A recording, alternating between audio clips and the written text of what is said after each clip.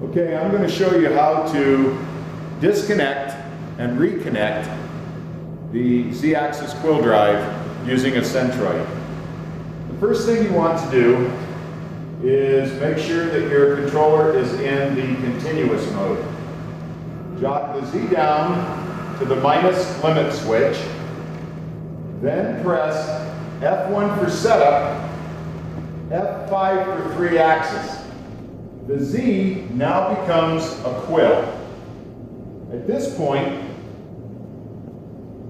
you're going to lock the quill lock lever, reach in and disconnect the uh, ball nut locking screw, one full turn,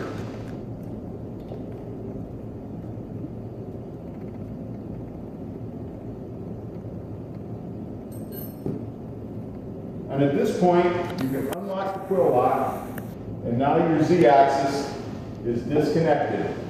And you still have z-axis feedback on the screen. Now you can use your machine as a manual machine, or you can use it as a two-axis if you simply jog the X and Y buttons, which will repower the, the X and Y axis, leaving the Z axis disconnected. Now you have a two axis CNC. To go back to the three axis mode, first step we're going to do is we're going to lower the quill back down to the minus position as far as it can go, bottoming it out on the quill drive, lock the quill lock lever, Come back over and tighten up the quill lock screw to 22 foot-pounds.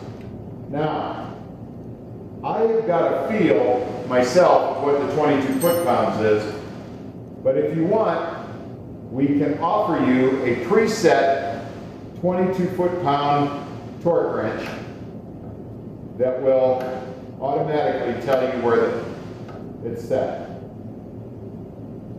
Swivel the tag back over, re-loosen up the quill lock, take your handle back off, come back over to the screen, and now you will have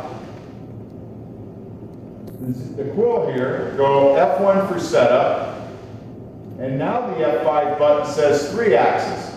It toggles back and forth between three axis and two axis. If you're in the two axis mode, this says three axis. If you're in the three axis mode, this says two axis. F5 for three axis.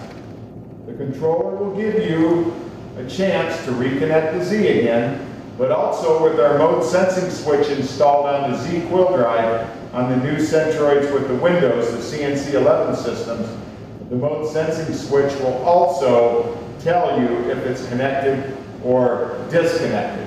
Hit F5 again, it goes away. Now the Z is back up to the, uh, on the display, and I can hit tool check